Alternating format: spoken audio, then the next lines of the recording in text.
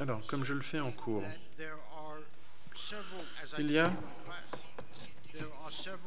en fait plusieurs facteurs qui euh, représentent les euh, fuites de fossiles carbone. Alors, permettez-moi de faire les listes. Donc, euh, en fait, la chronologie de l'augmentation coïncide avec l'utilisation, l'explosion de l'utilisation des énergies fossiles. Ensuite, l'ampleur, la magnitude, donc un facteur 2. Alors, il y a effectivement la traction par l'air qui représente environ la moitié. Troisième raison, il y a une différence entre l'hémisphère nord et l'hémisphère sud.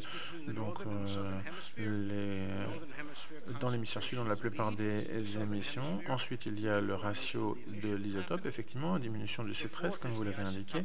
Mais il y a encore une cinquième raison, ou une cinquième, un cinquième parallèle, et vous ne l'avez pas mentionné, c'est que la quantité d'oxygène diminue très légèrement dans l'air. Rien, en fait, qui doive nous inquiéter euh, quant à la respiration, mais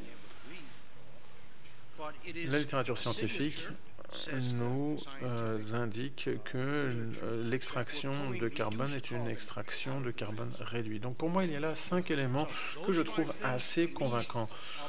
Alors, vous me demanderez, pourquoi est-ce que je n'ai pas fait preuve de plus prudence ou j'ai émis des réserves ou euh, mentionné des doutes? Alors, c'est en fait un choix délibéré, c'est une tactique. Parce que, oui, on pourrait effectivement avoir une approche où on met en question le savoir scientifique du GIEC. Mais je savais que si je suivais cette voie, en fait, on euh, disqualifierait mon livre.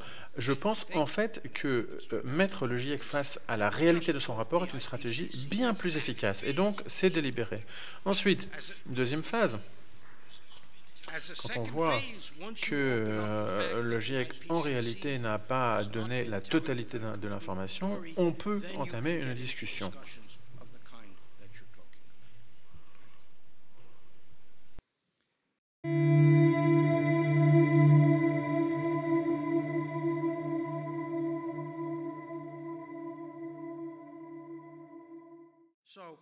Le GIEC utilise un ensemble de modèles, en fait environ 40 méthodes différentes.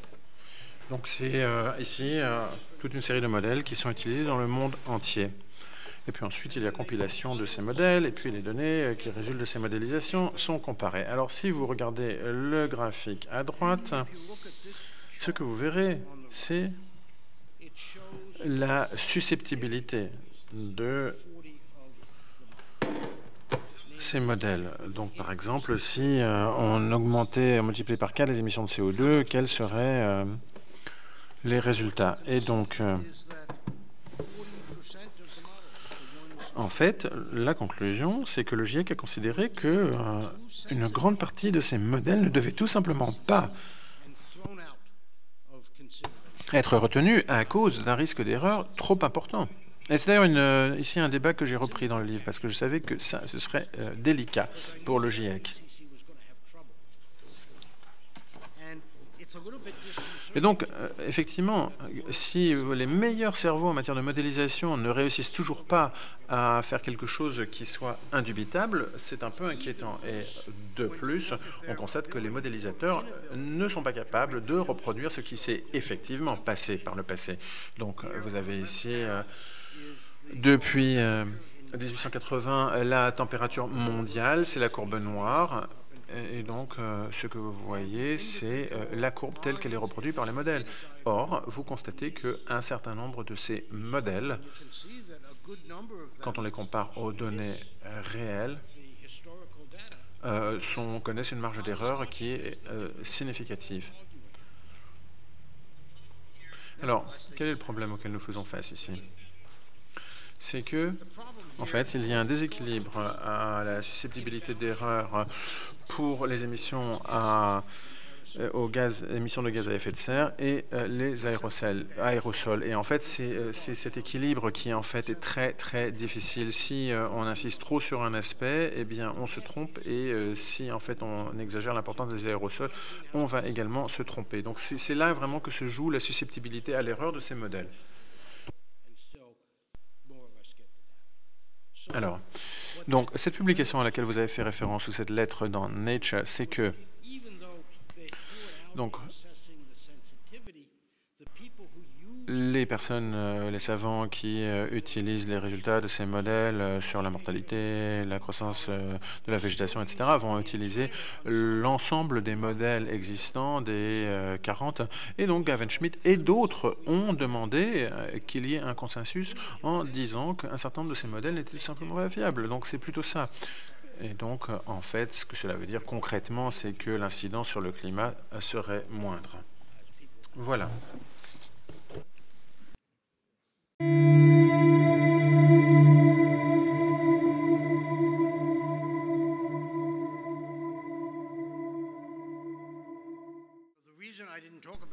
Pourquoi est-ce que j'en ai pas parlé des océans? C'est parce que je n'avais pas le temps. Mais par contre, j'ai le tableau. Donc je vais vous le montrer.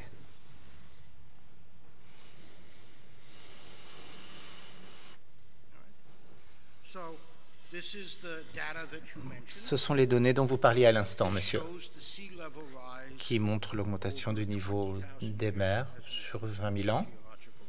Hein, c'est ce qu'on trouve dans les séries de données géologiques. Et avec la disparition des derniers glaciers, il y a 20 000 ans, l'eau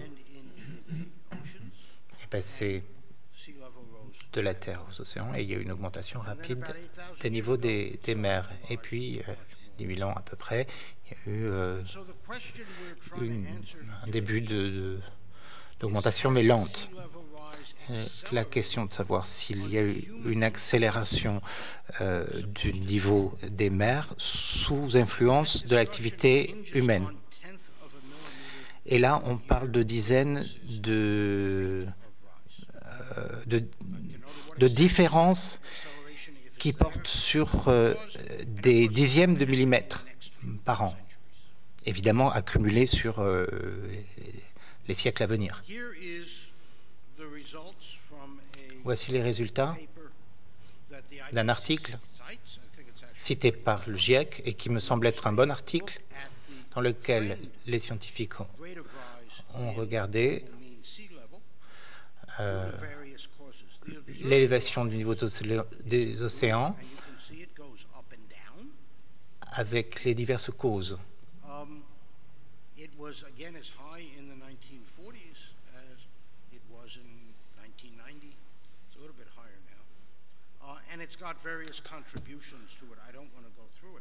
La courbe bleue,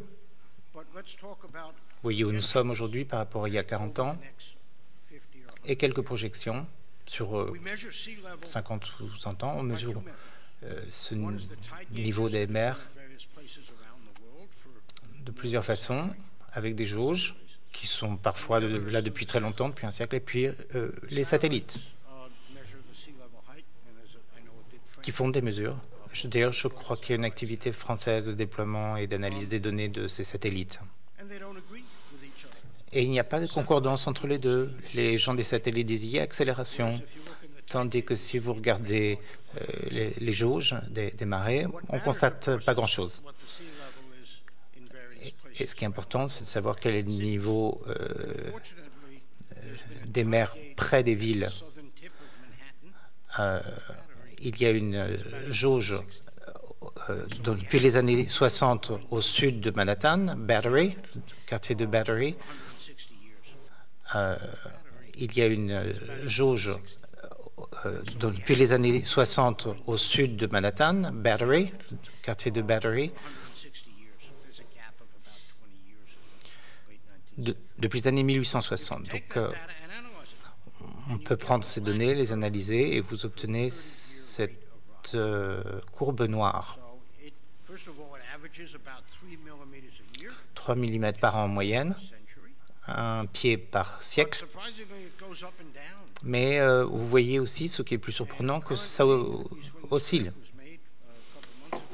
ce graphique a quelques années, euh, quelques mois, je veux dire, donc euh, là on est assez haut, mais que va-t-il se passer à l'avenir?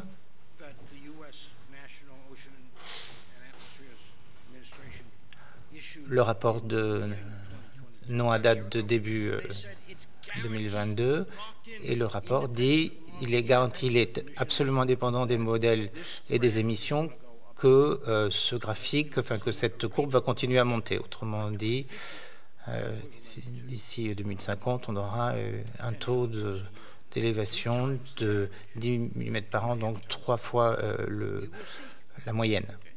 On verra bien si c'est le cas. Mais regardez ce que disent certains des, experts. Ça, ce sont des scientifiques de Columbia.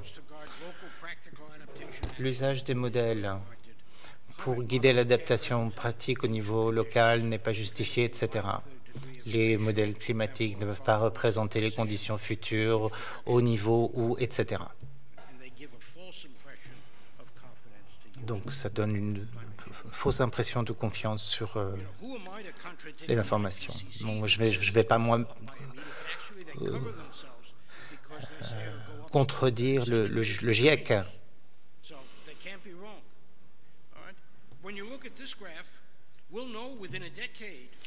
Si vous prenez ce graphique, on saura, ben, en fait, d'ici 10 ans, si, si c'était juste ou non. Donc, on ne va pas avoir à attendre très longtemps. Moi, je n'y crois pas. Je.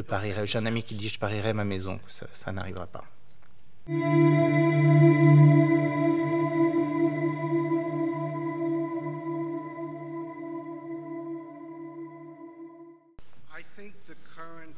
Oui, je crois que la passion actuelle euh, visant à faire à tout craint de la transition euh, énergétique et, je ne dirais pas que c'est une conspiration, ce n'est pas tout à fait ça, mais si vous voulez, c'est un alignement d'intérêts. Alors quels sont ces acteurs qui ont des intérêts? Les médias tout d'abord. En anglais, on, dit if it bleeds, it, it leads. Euh, donc, euh, ce qui signifie en anglais, si ça saigne, ça vend. Ça vend, du papier, si vous voulez. Donc, euh, psychologiquement, l'homme est comme ça. On préfère, euh, les menaces. On, aime entendre parler de menaces. C'est donc une incitation pour les médias à en parler.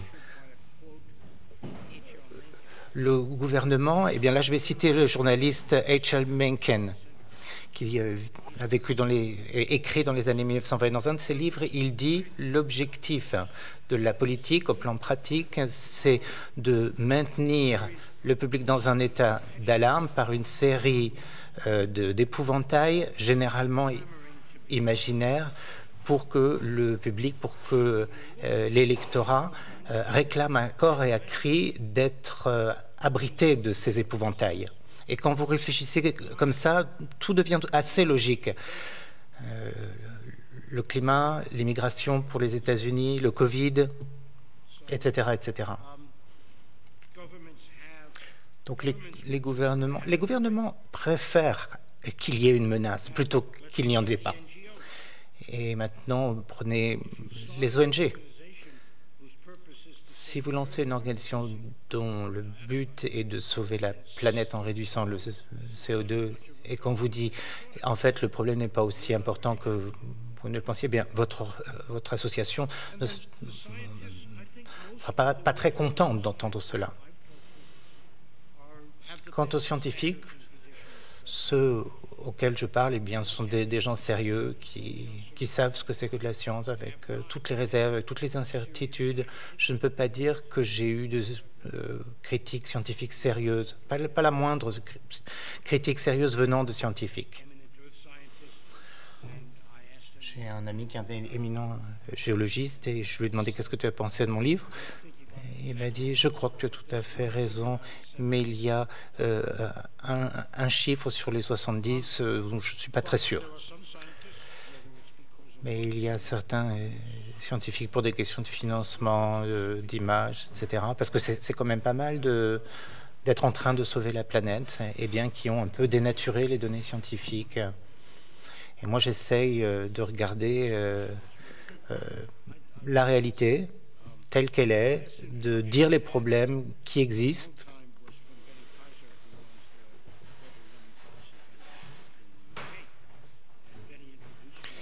Benny Pfizer, du Royaume-Uni, m'a dit que j'étais comme William Tyndale.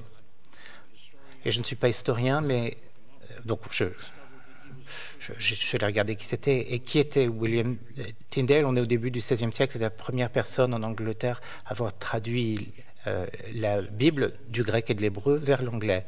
Et donc, il a, euh, si vous voulez, euh, permis aux gens qui, disons, au moins à ceux qui savaient lire l'anglais à l'époque, de découvrir ce que disait vraiment, vraiment la, Bible. Et d'ailleurs, il, il, il, a fini au bûcher. Mais enfin, ça, c'est encore autre chose.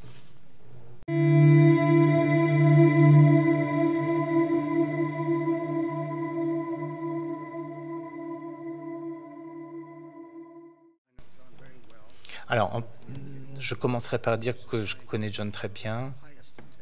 On communique souvent. C'est un scientifique très intègre. Je, je, trouve que ce qui lui est arrivé, c'est tout à fait scandaleux. Les chiffres sont simples. Les États-Unis aujourd'hui représentent 13% euh, des émissions de gaz à effet de serre. Si les États-Unis passaient à zéro demain, la croissance du reste du monde, et notamment du monde en développement, abolirait ce déclin en l'espace de 10 ans, 10 ans, 15 ans, disons. Et donc, vous n'auriez pas de réduction du tout de la concentration, ou quasiment rien. Tant que vous continuez à émettre, la concentration continue à augmenter. Et donc, passer à zéro émission au niveau global, ça signifie tout simplement qu'on a stabilisé les influences mondiales. Et ça, ça prendrait euh, des siècles pour qu'il y ait un début de diminution. Donc, le fait de diminuer d'un petit peu les, les, les émissions euh, n'a qu'un effet extrêmement limité. C'est vrai que les gens souvent ne le comprennent pas.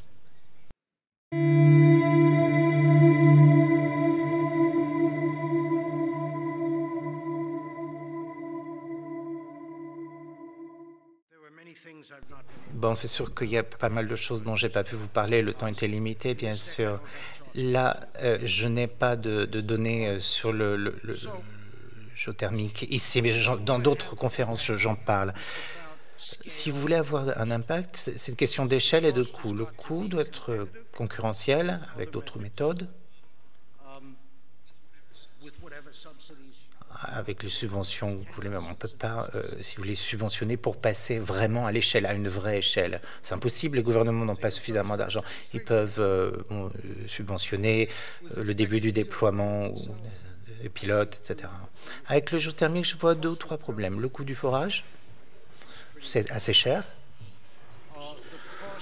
Le coût euh, de l'enveloppe, parce que euh, ce sont des matériaux chauds, très corrosifs, on ne sait pas combien de temps ils vont durer.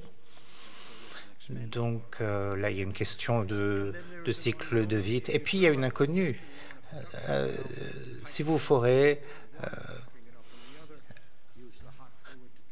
que vous faites fonctionner la turbine avec votre fluide euh, chaud, euh, vous ôtez la chaleur de la, roche euh, adjacente. Et si vous le faites trop vite, ça ne va pas rediffuser là où vous êtes en train d'extraire. Donc il y a le problème du déclin de la production. Donc ce sont des, des inconnus.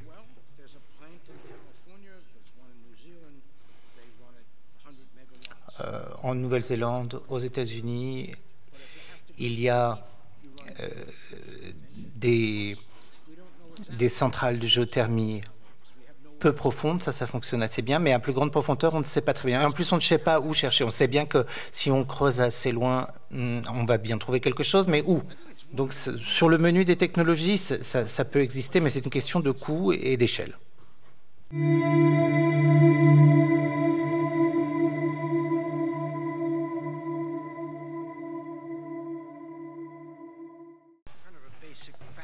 Cas, une chose un peu, un peu basique sur le, système euh, climatique. Les effets. Euh, Alors la circulation de l'énergie, en fait, c'est 281 watts par mètre carré. Les influences humaines, c'est 2,4 watts par mètre carré. Donc euh, 1%. Alors, les climato-sceptiques, je ne parle pas des réalistes, les sceptiques, vont demander si 1%, euh, cela euh, produit la moindre différence. Mais si on approche les choses d'un angle de physicien, bon, et eh bien on s'étendrait à ce que 1% se traduise en 1% dans les températures. Euh, donc, dans ce cas-là, il faut mesurer en Kelvin, en Kelvin, donc 300 degrés, et donc ça ferait un réchauffement de 3 degrés si vous prenez 1%. Alors, bien entendu, c'est multifactoriel. Et donc, euh, tout d'abord, cela montre que 1%, euh, considérer que 1%, euh, cela entraîne un réchauffement perceptible, ce n'est pas quelque chose de complètement fou. Et donc, euh, en fait, on peut, si on reprend cette approche multifactorielle, il suffit d'un grand nombre de tout petits facteurs pour produire des changements. Et donc, c'est pour cela qu'il est si compliqué de démêler cet écheveau où l'activité humaine et euh, d'autres influences, telles que par exemple solaire, euh, sont, interagissent. Alors, pour ce qui est donc de l'influence de l'activité du Soleil, eh bien, je pense que le GIEC, en fait, a de manière convaincante décidé que cela euh, n'entrait pas en jeu. Notamment, de nouvelles méthodes de mesure, euh, de mesure de l'infrarouge. Et donc, en réalité, ici, on est vraiment dans quelque chose qui est tout simplement trop faible pour pouvoir euh, être influent. Alors, le Soleil peut, pourrait, l'activité solaire pourrait par exemple exercer d'autres influences, changement du champ magnétique, euh, les rayons cosmiques ou par exemple le, un changement de spectre. Donc, autre chose que ce à quoi on a euh, songé jusqu'ici. Les euh, chercheurs ont vraiment euh, essayé de trouver des, traces, des mécanismes, mais pour l'instant, toute la recherche scientifique n'a pas réussi à montrer que l'activité solaire puisse avoir une influence. Mais en fait, je pense que nous devrions tout de même rester ouverts d'esprit et que nous sommes dans un système bruyant dans lequel un petit aspect peut entraîner des changements. Alors, on revient à cette notion de unsettled, quelque chose qui n'est pas clairement tranché.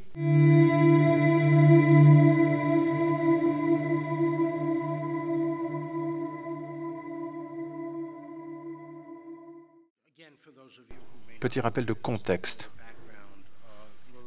Donc Lorenz, euh, ce chercheur au MIT, en 1963, ne se ne consacrait pas ses recherches euh, à un climat, un modèle climatique, mais à donc euh, trois euh, sous-catégories. Et c'est là qu'il a découvert en fait cette propriété du chaos, chaotique. Donc Lorenz dans les années 60. Mais en fait, je pense que cela ne s'applique pas véritablement au climat tel qu'il est et je vais essayer de vous, de vous donner mes raisons.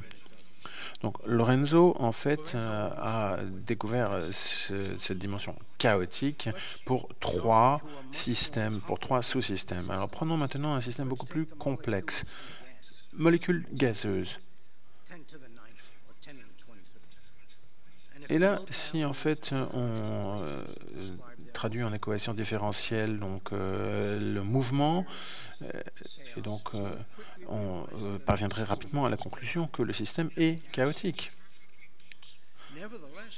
Néanmoins, cela ne nous empêche nullement de pouvoir modéliser la propriété des gaz, euh, notamment euh, les flux liquides, etc. Donc, il y a des sous-systèmes qui ne sont pas du tout chaotiques. Bon, certains le sont, certes. Donc, la raison pour laquelle, en fait, ce n'est pas un système chaotique, et donc pourquoi ils sont, peuvent être décrits et pourquoi ils peuvent être modélisés, euh, informatisés, c'est que, en fait, l'échelle est différente quand on est à l'échelle de la molécule et d'interaction en fait euh, à court terme sur une courte distance, eh bien c'est chaotique, mais euh, les propriétés sont à une échelle beaucoup plus large, des moyennes. Et donc le climat, en fait, là où on n'a toujours pas réussi à, trancher, c'est à quelle échelle est-on exactement? Donc en fait, je pense qu'on pourrait avoir un modèle, une prévision exacte du climat et des émissions de gaz à effet de serre si on réussissait à trouver la bonne focale, la bonne distance. Mais en même temps, on se heurte constamment à euh, la de propriétés chaotiques quand on se rapproche de plus près. Donc, euh, voilà, euh, l'illustration qui me paraît la plus convaincante pour euh, cette question des modélisations. Et puis, autre aspect, donc la modélisation, c'est en fait qu'on prend des tranches d'atmosphère, des tranches d'océan, et on suit les flux de vapeur d'eau, de matière, etc., euh, dans ces tranches, 10 minutes par 10 minutes. Et c'est quelque chose qui doit être fait pendant des milliers d'années afin de pouvoir parvenir à une compréhension adéquate du climat. Et donc, en fait, Imaginez, c'est 10 puissance 16, donc euh, voilà, ça vous donne une idée de la puissance de calcul, et il faut faire ça avec une, euh, une précision qui est insensée. Euh, donc, en fait, ce jeu des puissances vous donne une idée des disparités. Donc, on a donc de nombreux modèles qui non seulement ne sont pas d'accord entre eux, mais qui ne sont pas d'accord avec les, les réalités de la donnée. Alors, on nous dira que c'est simplement comme ça que fonctionne la physique. Alors, si on euh, découpe le globe terrestre en tranches, en réalité, ces, ces petites boîtes, ces petits cubes doivent être d'une taille suffisamment petite.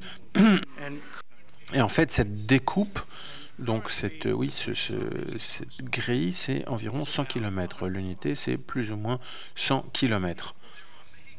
Or, de nombreux phénomènes dans l'atmosphère se déroulent sur des distances qui, en fait, sont inférieures à 100 km. De, on pense ici immédiatement aux nuages, aux phénomènes nuageux. Donc, en fait, quand on a un quadrillage euh, où on, mesure la température, l'humidité, le vent, etc., en réalité, il euh, faut se baser sur des hypothèses relatives aux nuages, parce que, euh, en fait, ici, on ne peut pas tenir compte de la réalité des, nuages.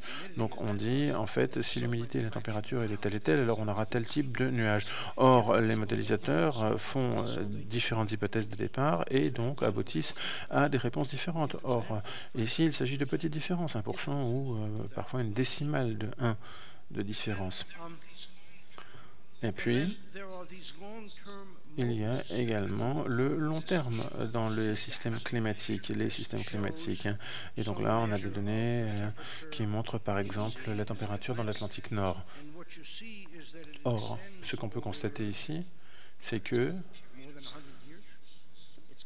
on a, on a euh, donc cette période de 70 ans dont je vous ai parlé auparavant. Or, les modèles sont incapables de reproduire cette période de 70 ans. Donc, euh, il faut que la magnitude soit correcte, euh, que la temporalité soit juste. Et en fait, euh, il y a également les, euh, les instants T. Et c'est pour cela en fait qu'on ne peut pas comparer, que les modèles euh, souffrent de la comparaison avec les données réelles. Donc voilà quelles sont les difficultés que rencontrent les modélisateurs. Donc le chaos, c'est moins un problème dans l'atmosphère parce que en fait, dans l'atmosphère, on est sur des échelles de temps d'une semaine à deux, alors que les changements dans l'océan sont sur un temps beaucoup plus long. Et donc là, effectivement, on peut supposer qu'il y a beaucoup plus de chaos mais je crois en réalité que euh, la bonne tranche temporelle, c'est plusieurs décennies.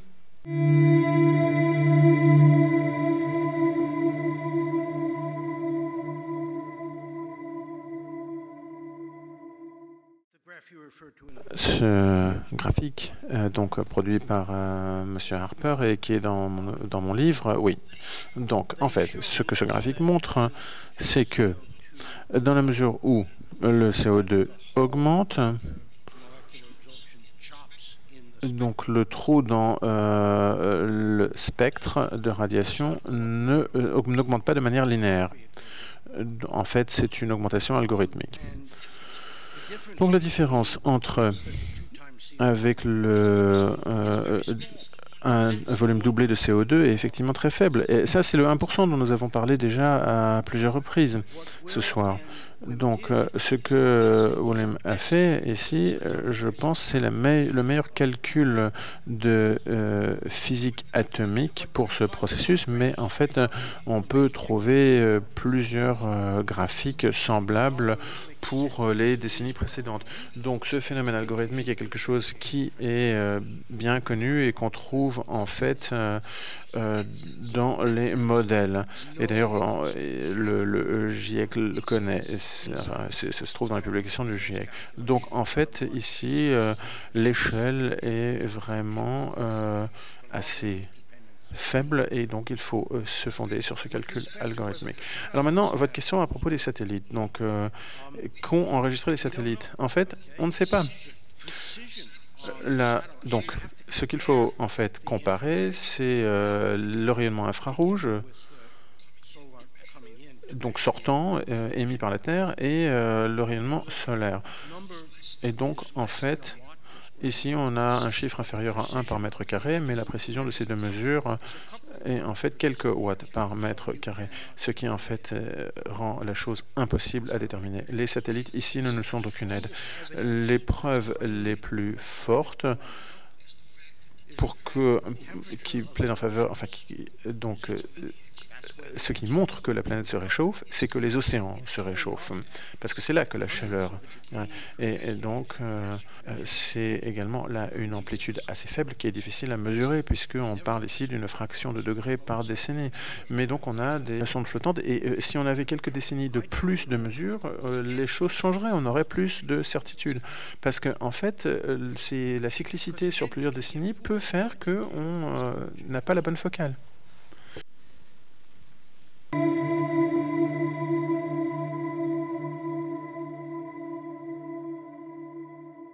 Direct et donc ce retour, ce feedback.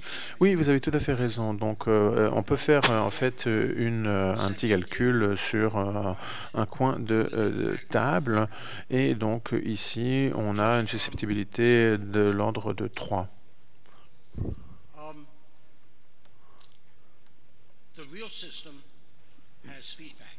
Alors, le vrai système, lui, il a ses feedbacks. Il a encore Permettez-moi d'expliquer un, tout petit peu de quoi il s'agit pour celles et ceux d'entre vous qui ne voient pas.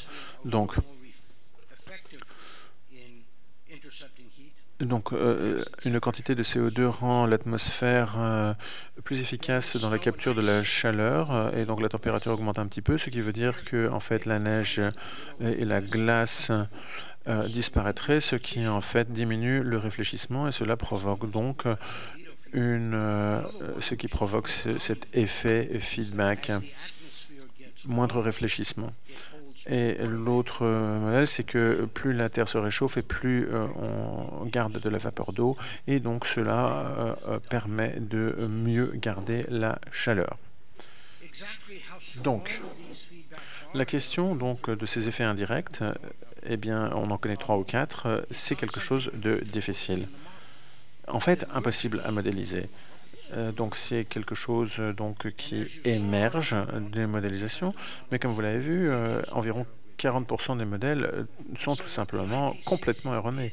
Donc ce que le GIEC a fait pour répondre à cette question, c'est effectivement d'éliminer les modélisations qui étaient qui ne marchaient pas et d'évaluer donc les effets indirects qui se trouvaient dans d'autres modélisations.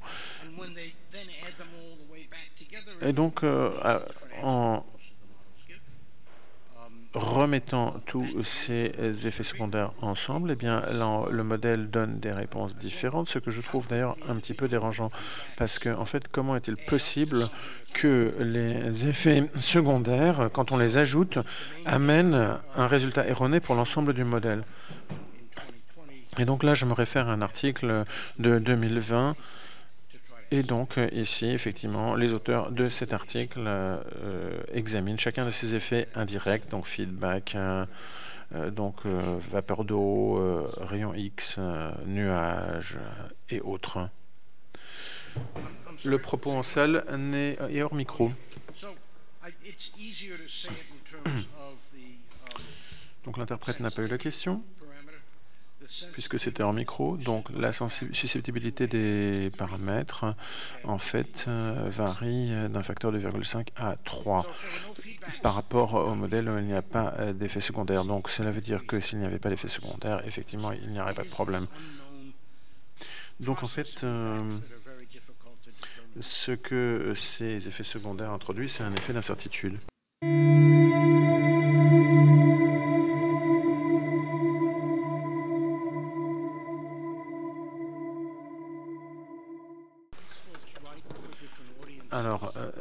Ces savants donc s'adressent à différents publics. en fait, ils sont bons. Hein. Ce sont de bons scientifiques dans leur domaine, aucun doute.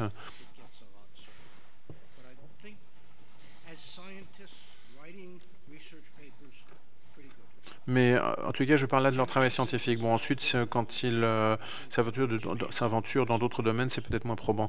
Euh, bon, Jim Hansen. Bon, Jim Hansen, ces dernières, deux dernières décennies, c'est très différent du Jim Hansen en, début de carrière, dans les 20 premières années, où il a fait un travail remarquable.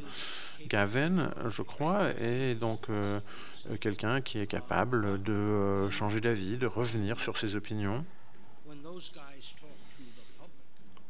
Et quand ces scientifiques, en fait, choisissent un public différent, donc quand c'est euh, euh, le grand public qu'ils ont en vue, ils s'expriment effectivement très différemment.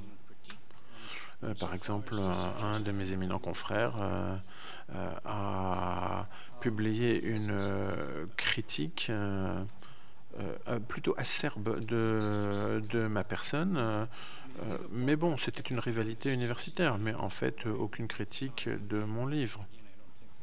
Et à mon avis, les critiques qu'il a formulées, franchement, ne pesaient pas grand-chose.